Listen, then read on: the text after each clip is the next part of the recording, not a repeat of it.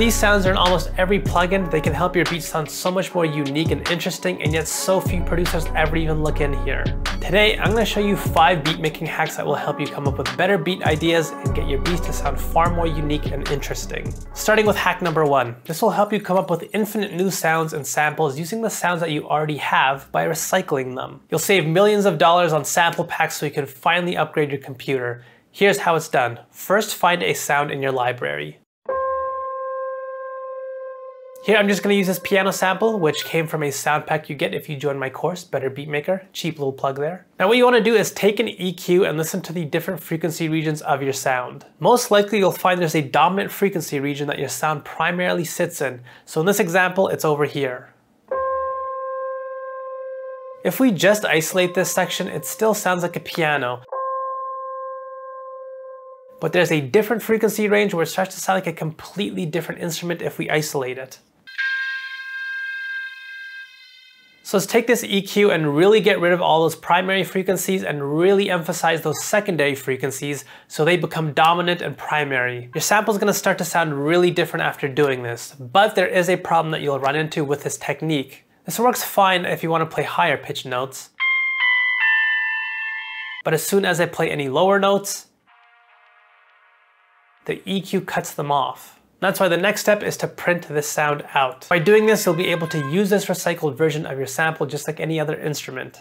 So here's the pattern that I built using this recycled sound, which sounds just far more unique than my piano sample.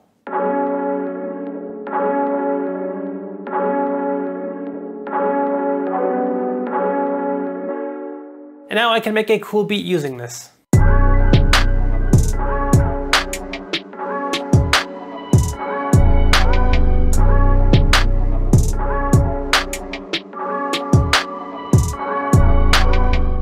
So that's sample recycling. By the way, if you guys enjoy these videos, hit like and subscribe and let's climb up that algorithm. Let's move on to the next hack. Using sounds for an entirely different purpose than what they're meant for is a really unique approach for starting your beat. For example, let's take the sound here. One common way to repurpose your sound is for your bass. Instead of using a typical bass texture like an 808 or a bass guitar, you can use a sound or a one-shot that actually isn't meant to be a bass. If I play it at a really low pitch, it starts to sound like a more unique bass texture.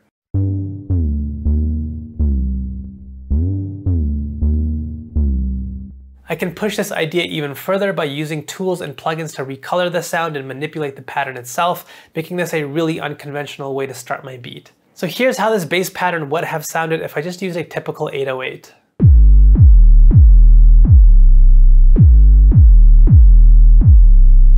Nothing too special, but here's how my unique bass and bass pattern sounds.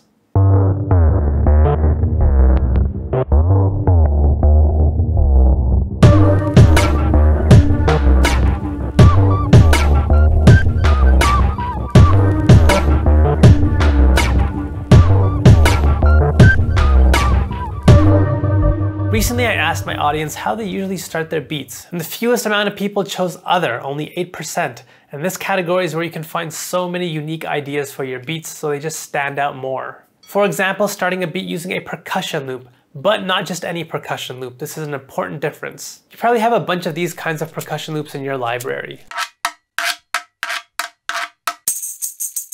These are often used as a small layer of detail in your beats, not a particularly interesting way to start your beat if you're to use these. What I'm talking about is using percussion loops that just have far more character and actually sound unique and take up a lot more space like these ones.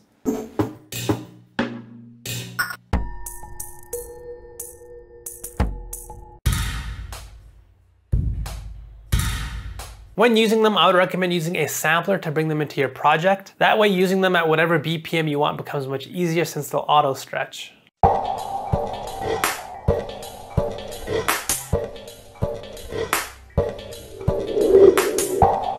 Another idea is to stack multiple percussion loops on top of each other, and by combining multiple loops, you introduce a polyrhythm into your beat.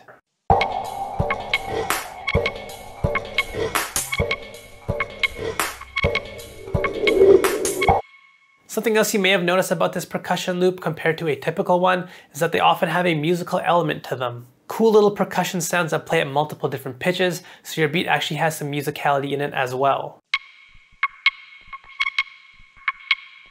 At this point, I can just add in a drum pattern, maybe one or two more sounds, and this beat would probably sound pretty full.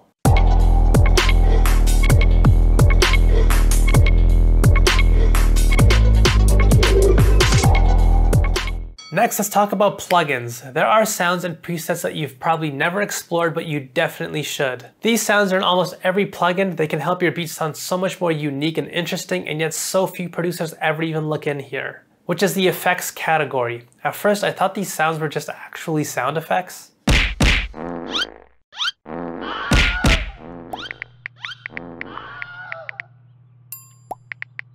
If you had a twin, I would still choose you. I don't want to rush into it if it's too... But with most plugins, this is actually where all the miscellaneous sounds end up. So you can find some really unique sounds in here. This is true even if you use stock plugins. Here I'm using Biohazard, which is an FL Studio plugin. If I go into the SFX category, you can hear that we have some cool sounds in here that we can use.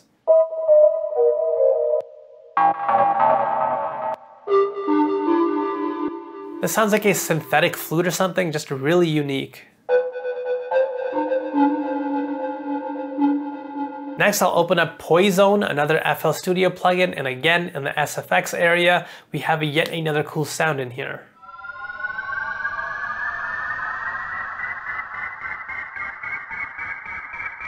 Let's also look at Morphine. This also has an SFX area, and we'll use a small percussive sound, and all together, we can make a beat out of this.